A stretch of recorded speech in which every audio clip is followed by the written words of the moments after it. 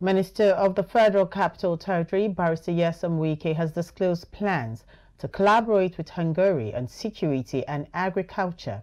During a Katsa visit by the Consul General of Hungary, Mr. Endire Dire, Barrister Nyesom Wike highlighted the importance of addressing insecurity and boosting agricultural development as top priorities of his administration.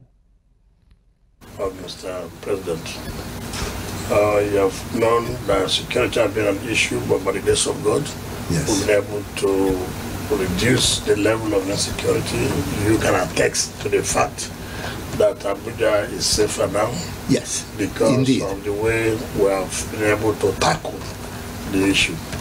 Um, luckily for us, it is a part of our procurement process to have uh, drones.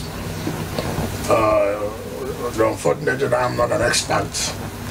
Uh, so the security people who are in charge, I will let them uh, have a, a, discussion with your people so that they will identify the type of drones that will be effective and efficient in our own area. The consul, Consulate General, Mr. Endire, Dire, while expressing gratitude for the warm reception, affirmed Hungary's commitment to supporting security efforts. He expressed Hungary's readiness to provide advanced drone technology to aid security personnel in tackling security insecurity effectively.